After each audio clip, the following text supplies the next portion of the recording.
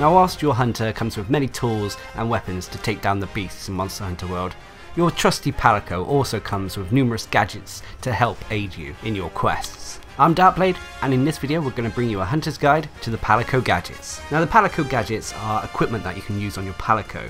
Should you be playing solo or duo, these trusty feline companions will follow you around, helping out where they can.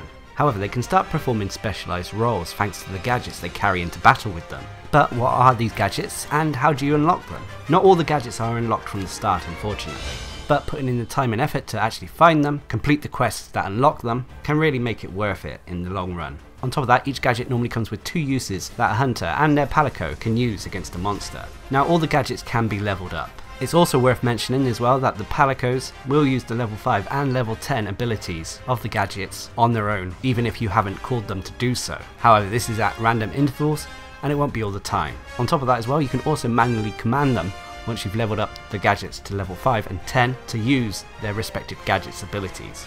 So anyway, let's get into the episode and look at the various gadgets for the Palico. The first is the Vigor Wasp spray. This gadget is the first one you get. You get it from the start of the game. There are no quests related behind it. It's the default equipment your Palico will have. This is a small sack that uses Vigor Wasp honey to recover a hunter's health so it's a heal. Once used, the Palico will pull out the Vigor spray and then float over to your hunter's location.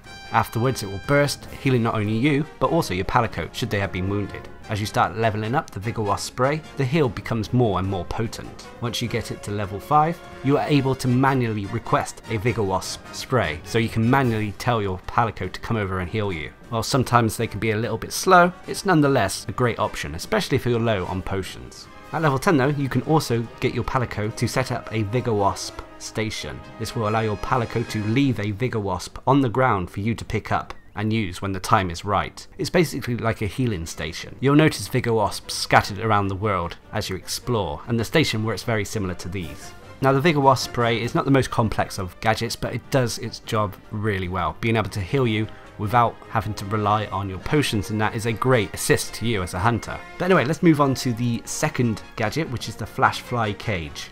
This is found in the Ancient Forest. As you start exploring the ancient forest, normally in expedition mode, you'll find doodles scattered around the environment. These doodles are left by the Grimalkyne.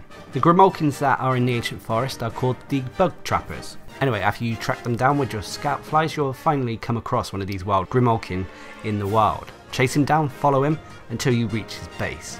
Here, your Palico will start talking to the group of wildcats and everyone will become friends. They'll also reward you with a flashfly cage, as well as the ability to tame the small jagras in the ancient forest. But anyway, what does the flashfly cage do? Well, it's a bug trapper. It traps insects inside it, and then these can then be attacked to create a blinding light that will temporarily stun monsters, or should they be flying in the air, bring them down to the ground. This can be very useful, especially against flying monsters. On top of that, the potency of the actual flash from the flash fly cage is increased as you level up the ability. Now at level 5 you'll be able to manually call your Palico to put down a flash fly cage, and at level 10 you get a very useful ability. This will allow your Palico to put down a makeshift flash fly shock trap on the ground. This can stun enemy monsters, similar to how the standard shock trap works. However, it doesn't consume anything, so it comes in incredibly handy. However, monsters who are constantly caught in this trap will have diminishing returns, so they won't stay stunned for long if they've been caught multiple times with the trap. Nonetheless though, it's very useful for solo play. Anyway, moving on to the next gadget, which is the Shield Spire. This is found in the Grimalkyne Wildspire Waste quest. The Grimalkyne in the Wildspire Waste are called the Protectors. As you head to the Wildspire Waste and you follow the doodles that head to the Grimalkyne lair, you will then be given a quest by the Grimalkyne that you find there. His pals are lost and you have to go around capturing them with your capture net. They are scattered all over the place but you can find them on your map. So make sure you go to your map, filter if you need to and find them that way. Afterwards you can click on one and your scout flies will go and track it down. When you see one, approach it quietly because if they notice you, they will run off. After you've caught three of them, go back to the camp, tell the protector that you found his friends and they will reward you with the Shield Spire Palico gadget, as well as the ability to tame Kestodons whilst in the Wildspire Waste. Anyway, the Shield Spire gadget is a massive shield, well, for a Palico anyway. The Palico can then use this to defend against attacks, and it can also be used to provoke monsters, taunting them away from the hunter and making them attack the Palico. Now, as you level it up, the actual guard and the blocking mechanics of this shield will increase. At rank 5, you'll be able to command your Palico to manually taunt the enemy, and once you get it to level 10, you'll be given a shield bash, which allows the Palico to deal some blunt damage with this gadget. The next gadget is the Coral Orchestra, and this is found in the Coral Highlands. Now, to unlock this, you have to go to the northeast area of the Coral Highlands. Here you should stumble across some Grimalkyne riding some Shamos, the strange lizard type creatures you find in the Coral Highlands. Anyway, normally you would ignore them, but you have to attack them. Afterwards, they'll shout some insults and run off. Your Palico then encourages you to go and find them. Anyway, afterwards follow their tracks to a location that is in the northeast behind a waterfall. Here, the Grimalkyne, known as the Troopers, will start talking to your Palico. They will then give you a quest to complete. This is an optional quest. So go back to Astera and sign up for the quest known as Troubled Troopers. This has you taking on two Tzitzi-Ya-Kus. Once the quest is complete, you'll speak to the troopers again and you'll receive the Coral Orchestra. Now this gadget is very useful. It is a musical instrument that your Palico will play, and as it plays different songs and melodies, it will provide buffs to you and even your entire team. These buffs can be attack boost, defense boost, or status resistances, and all of these buffs are increased as the gadget levels up. Now at level 5 you can call for your Palico to manually use the Coral Orchestra wind instrument, and at level 10 you can call them to manually use the drum instrument for a second buff. Once you've made friends with the troopers as well, your Palico will also get the ability to tame Shamos. Now the next gadget is the Plunder Blade. This is found in the Rotten Vale. Now this is a bit more of a trickier gadget to unlock. Now to unlock this you have to have the Lynian researcher in the Rotten Vale. He also has to be in the lower parts near where the Odogaron nest is located. This is also in high rank. Anyway, once you find him there, go speak to him. He'll say something about an Odogaron dragon carrion with it. This is an indicator to the Legiana corpse that you can find in the Rotten Vale. Anyway, there are a few ways to do this, but the easiest way I found was to simply just sit there and wait with the researcher in the Odogaron nest, and eventually the Odogaron will drag the Legiana corpse into its nest. For the most part, the Odogaron is non-aggressive, so it will just eventually leave, ignoring you and the researcher, and also leaving the carcass in its nest. Afterwards, you'll notice that a Grimalkyne runs out towards the Legiana corpse. Now, as you approach it, it will eventually run away. Afterwards, your Palico will tell you to go and track it down. So follow the tracks deeper into the Vale until you get to an area where the Grimalkyne completely runs away. Now this is in an area that's filled with bioluminescence. Now keep an eye on what your Palico is telling you, as it will tell you to potentially feed these hungry looking wildcats. So put some raw meat on the floor and stay back.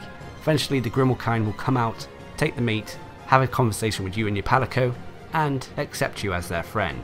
Once you're friends with the plunderers, they will reward you with the plunder blade, as well as the ability for your Palico to tame Girros. Now the plunder blade is a great tool for farming. It will allow your Palico to draw these blades and attack the monster to gain materials from it. Now as you level up the blades, the quantity of stolen materials increase. And at rank 5 you can manually tell your Palico to attack with the Plunder Blade melee range, or at rank 10, you can ask them to do a Plunder Blade Boomerang, which is a ranged version of the attack.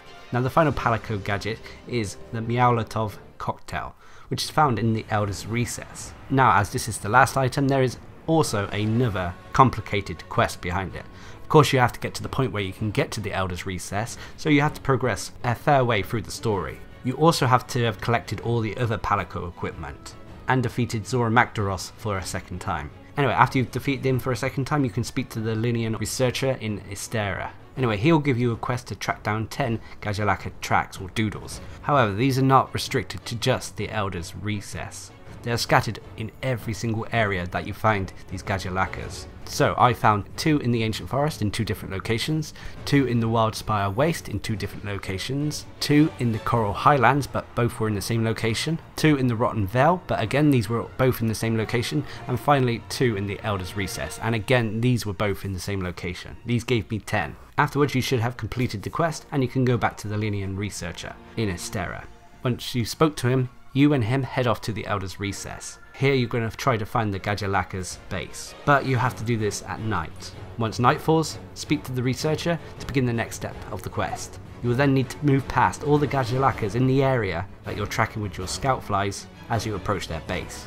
The best way to do this is to equip your ghillie mantle and sneak past them as they dance. However, you can do this without the ghillie mantle if you're feeling brave enough. When you reach the bottom of the crystal cave that they're located in, crawl through the little hole and you'll meet the Gajalaka Knight. He will then chat to you and reward you with the Meowlatov cocktail. It will also teach your Palico the ability to tame the Gastodons. Anyway, the Meowlatov cocktail is a DPS focused gadget. It throws a Gajalaka style bomb that deals damage to opponents. Now as you level this up it gains in proficiency, thus dealing more damage. At level 5 as well you're able to manually tell your Palico to throw one of the cocktails and at rank 10 it will allow your Palico to load the cocktail into their Palico slinger which is like a small little catapult thing you might see them using. This allows them to do a bit more of a barrage of cocktail attacks at a monster. But anyway these are all the gadgets available to the Palicos in Monster Hunter World. Each of them as you can see seem to be a specialised role whether it be healer, tank, DPS, support or even just for farming.